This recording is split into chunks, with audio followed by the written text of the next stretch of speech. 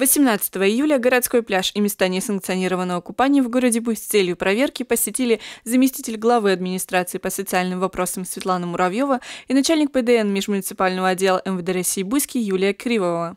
Рейды по проверке мест несанкционированного купания и нахождения там несовершеннолетних детей без сопровождения взрослых проходят ежедневно. В них задействованы все службы системы профилактики.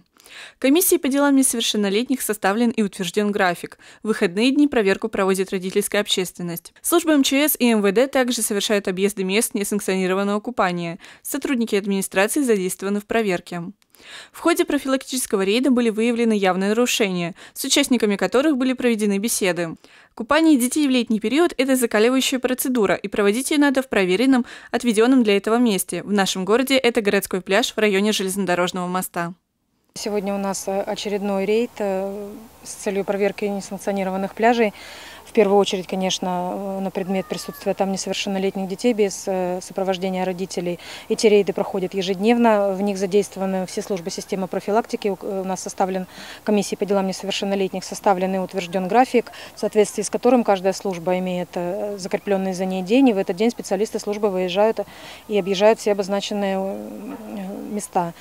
В выходные э, рейды также э, организуются силами родительской общественности.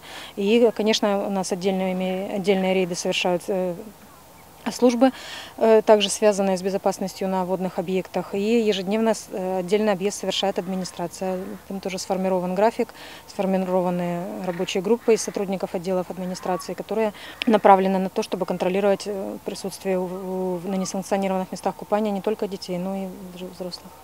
Но, к сожалению, мы уже и сегодня видим, что далеко не все соблюдают правила безопасности, и мы сегодня встретили и детей без сопровождения взрослых, и взрослым семьям разъясняли э, правила безопасности нахождения у водных объектов.